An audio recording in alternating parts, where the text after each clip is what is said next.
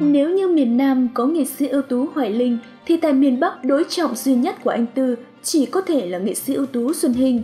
Hai phong cách nghệ thuật khác nhau, hai lối diễn khác nhau, nhưng ở họ đều có chung một điều quan trọng, đều là những nghệ sĩ của nhân dân đúng nghĩa. Làng hài vốn không có vua, nhưng nghệ sĩ Xuân Hinh lại nổi tiếng đến mức được mệnh danh là vua hài của đất Bắc. Tới nỗi cứ mỗi dịp Tết đến xuân về, ngoài những chiếc bánh trưng lá song, những khay mứt Tết, cành hoa đào nở nồng ngát thì chiếc đĩa hài Xuân hình cũng là thứ không thể thiếu cho mỗi gia đình. Người ta mong ngóng xem năm nay anh có xả gái nữa không, hay đóng cùng với ai, tiểu phẩm gì và rủ nhau xem để khóc rồi cười theo nhân vật. Nổi tiếng và thành công là vậy, nhưng mấy ai biết được rằng đằng sau vinh quang đó Xuân Hình đã phải trải qua một quá khứ cực khổ ít ai biết được. Người ơi, chẳng dằm hội quê tôi, chẳng về nơi đầu thuyền lung linh mặt nước. Bồng bềnh trắng soi hội đã tan rồi ngồi tựa Nghệ sĩ Xuân Hình sinh năm 1960 tại thôn Yên Việt, xã Đông Cứu, huyện sa Bình, tỉnh Bắc Ninh, trong một gia đình có 7 anh chị em, 5 trai và hai gái. Bố anh là nhà giáo, còn mẹ làm nông.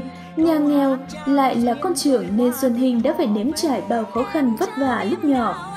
Anh đã làm mọi việc để giúp đỡ gia đình như trông em, nấu cơm, trồng rau, bắt cua, cất vó vân vân và đặc biệt là thu mua đồng nát, Đến năm 10 tuổi, Xuân Hinh đã học được cách đi buôn. Nghệ sĩ ưu tú Xuân Hình tâm sự rằng, trong ký ức của tôi, cái xóm khi xưa gia đình tôi sống tuy nghèo về vật chất nhưng không bao giờ nghèo về tinh thần.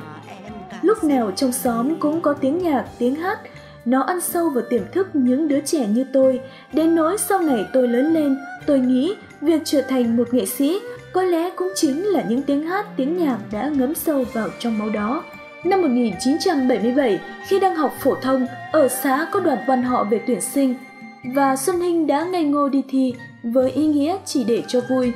Và khi được tuyển, anh vô cùng vui mừng khi trở thành thành viên của đoàn dân ca quan họ Bắc Ninh, nơi đã tạo điều kiện cho anh vừa học văn hóa vừa học nghệ thuật và tham gia biểu diễn. Sau 6 năm gắn bó, Xuân Hinh dở chứng chuyển sang thích trèo. Đó là vào năm 1983, anh liều mình đăng ký học Đại học Sân khấu Điện ảnh Hà Nội và lại ngỡ ngàng khi trúng tuyển.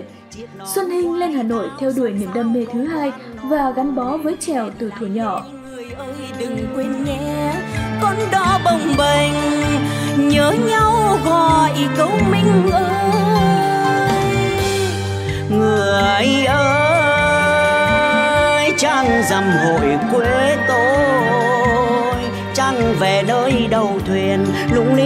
mặt nước bồng bềnh trắng soi hồi đã học xong trường đại học sân khấu điện ảnh hà nội xuân hinh được giữ lại làm giảng viên trong trường nhưng với nghệ sĩ tự cảm thấy mình thuộc về sân khấu hơn là giảng đường nên đã xin nghỉ dạy và chuyển về công tác tại nhà hát trèo Hà Nội. Từ đó Xuân Hinh bươn trải nhiều nghề khác nhau như hát trèo, hát sẩm, hát văn vân vân. Trước khi đến với sân khấu hài, với tài năng trời phú, anh hát gì cũng hay, mà hóa thân vào ai cũng xuất sắc.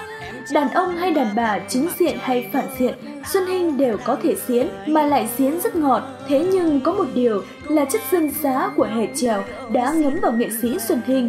Nên khi diễn hài anh cũng gây nên nhiều tranh cãi về cái sự tục.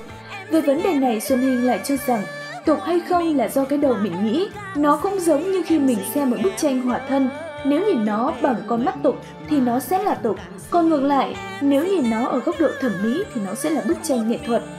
Những tác phẩm thành công của anh có thể kể đến như Người ngựa ngựa người, Lý Tuyết sự kiện, Xuân Hinh đi hỏi vợ, chồng rượu vợ đẻ vân vân.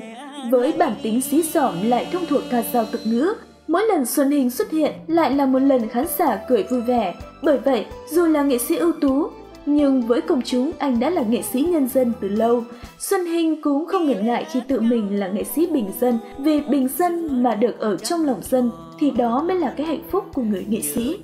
dưới biển mà trên non nở vẫn tin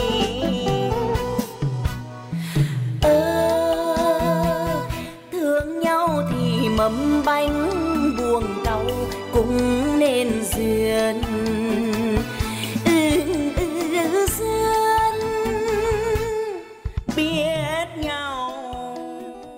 thời đại công nghệ phát triển rầm rộ như hiện nay, Xuân Hinh là một trong số ít còn tận tâm với phát hành đĩa. Anh đích thân chỉ đạo từ khâu thuê âm thanh, gian múa liên hệ địa điểm vân vân để làm đĩa mà không nghĩ đến chuyện kiếm lời. Nghệ sĩ Xuân Hinh chia sẻ thêm rằng, nhiều nghệ sĩ lâu nay họ không ra đĩa hát văn vì thu hồi vốn còn là may. Bây giờ việc bảo hộ bản quyền chưa nghiêm, ra mắt buổi sáng buổi chiều đã đĩa lậu tràn lan, nhưng là một nghệ sĩ yêu loại hình văn hóa dân tộc nên tôi nghĩ mình phải có trách nhiệm bảo tồn, giữ gìn và phát huy, làm lan tỏa những giá trị văn hóa dân gian truyền thống.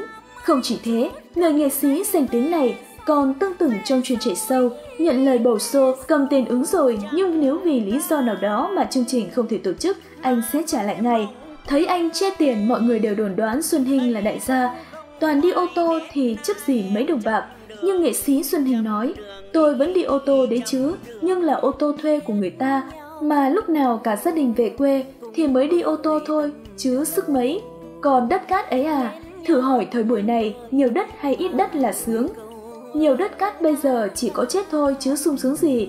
Nghệ sĩ như một con gà, mở cửa ra là ghẹ ghẹ cục cục, bán cháo phổi, buôn nước bọt, gọi là hà tiện thì cũng có một chút nay, mai già đỡ phiền hà đến con cháu là mừng rồi.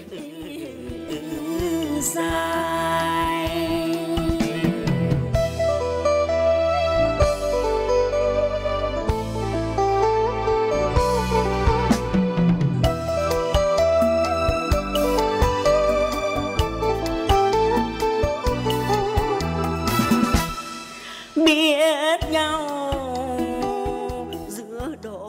Sự nghiệp không chỉ đem lại cho Xuân Hinh tiền bạc, danh tiếng mà còn xen duyên cho anh với người vợ hiền lành và xinh đẹp. Cô gái có cái tên Nguyễn Phương Lan ở Hàng Buồm không những có nhan sắc mà còn xuất thân trong một gia đình ngoại giao. Vì hai người quá yêu nhau, nhà ngoại đã đồng ý gả cô cho anh, Xuân Hinh tâm sự. Hồi mới tốt nghiệp trường sân khấu, tôi có một anh bạn buôn đồ gỗ, là họa sĩ kiêm giáo viên dạy kiến trúc. Nhà ở phố Hàm Long, nên cũng hay qua nhà chơi. Một hôm tình cờ đến nhà người bạn thì gặp cô ấy. Trông nàng xinh xinh nên tôi cũng nháy mắt trêu chọc. Sau đó vài lần đến chơi thì phát hiện ra nàng ở gần nhà bạn mình. Hình thức trẻ hơn Xuân Hinh, đến khi chuyện trò thấy tính cách dịu hiền nên anh lên kế hoạch tấn công.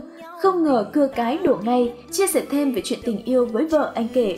Chuyện hài lắm, tôi liều tán vợ bằng cách làm quen phụ huynh, rồi phụ huynh mê tôi trước cả vợ, Đến giờ làm được đồng nào đều hai tay đem về cho vợ con, mang lại tiếng cười cho mọi người thì tất nhiên gia đình ai cũng phải đầy ắp tiếng cười bởi với tôi gia đình mới là điều quan trọng.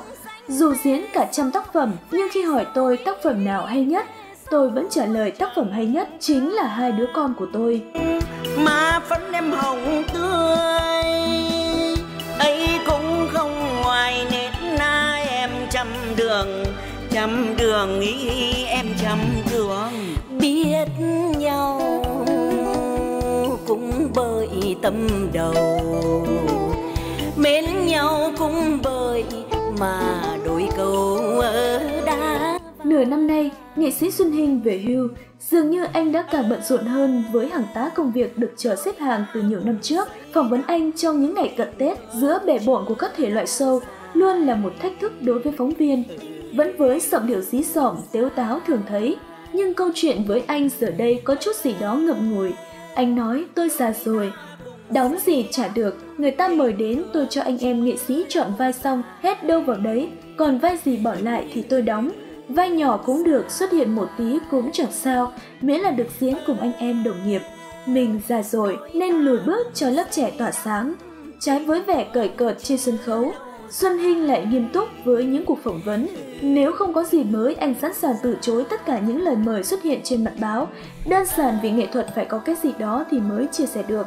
Có thể nói cả cuộc đời cống hiến cho nghệ thuật, Xuân Hinh đã trải qua hàng trăm vai diễn. Và anh quan niệm rằng người nghệ sĩ phải hóa thân vào hàng trăm nghề của cuộc đời. Xuân Hinh coi nghệ thuật và những vai diễn của mình là một mâm cỗ. Với nhiều món ăn ngon trong một mâm cỗ đầy, thực khách cũng sẽ lựa chọn những món mình ưa thích.